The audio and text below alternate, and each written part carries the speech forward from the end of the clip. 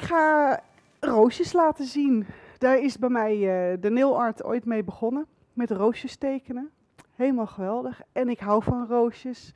Dus ik ga 3D roosjes maken, kleur op kleur. We proberen een beetje in dezelfde kleurenlijn te blijven. Dus we gaan uh, roze pakken. Ik heb uh, als ondergrond heb ik de Falling in Love Again.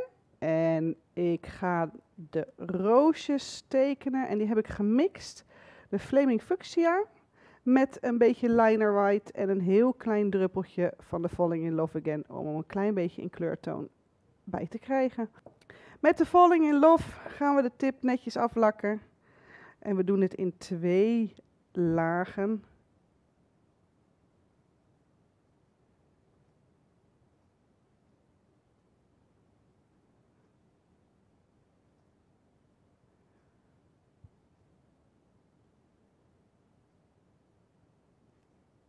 Nou, de nagel is in de lamp geweest. De, hij is helemaal uitgehard, dus we hebben een hele mooie matte ondergrond waar we de roosjes op gaan schilderen. Ik gebruik het penseel Jessica's Choice. In ieder geval, daar ga ik mee starten. Jessica's Choice. Dat is een, eh, een, een, een, een fijn penseel. Niet al te kort, niet al te lang. Daar kan je leuke roosjes mee tekenen. Um, ja, dus we gaan beginnen met de roosjes. Ik heb hier op mijn pallet heb ik uh, de kleur al voorgemixt. Ik ga mijn penseel ga ik laden. Ik begin met een hartje. En dan de blaadjes eromheen.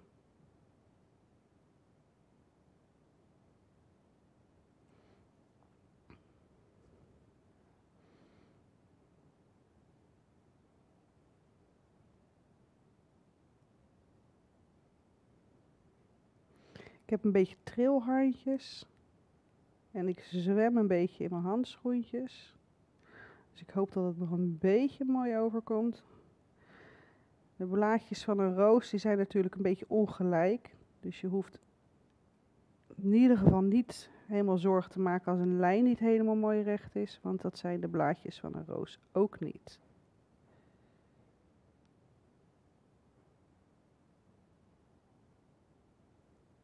Als de roosjes erop zitten, dan gaan we natuurlijk nog even een beetje wat leuks, een beetje blaadjes erbij doen. Dat hoort bij roosjes. Blaadjes, een stipje hier en daar. Dus je vrolijkt het design gewoon op met iets wat jij leuk vindt. En als je dan zoiets hebt van, nou, ik vind dat er genoeg op zit, dan uh, zet je hem in de, in de Twinlight.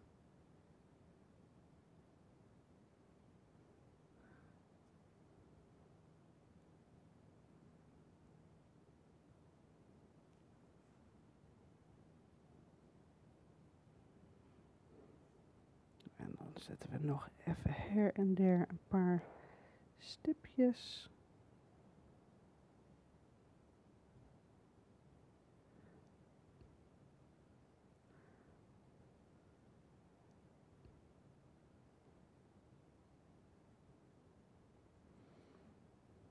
Gewoon even voor de leukigheid.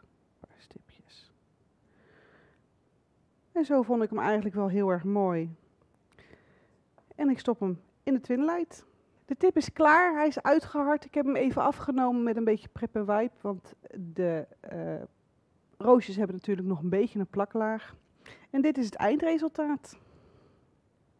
Een heel simpel, kleur op kleur, beetje relief design. En zoals je ziet, ze liggen erop. Ik heb hier nog een paar uh, voorbeeldjes wat je nog meer ermee kan. En uh, dat was mijn 3D roos. Een uh, hele simpele, hele makkelijke, heel snel design. Um, die het bij iedereen eigenlijk wel goed doet. Wat je ook kan doen om hem een beetje op te, op te leuken, om net even iets anders te maken. Je kan natuurlijk ook de natte paint nog even afstrooien met een leuk glittertje. En dan krijg je een gesugerde 3D design.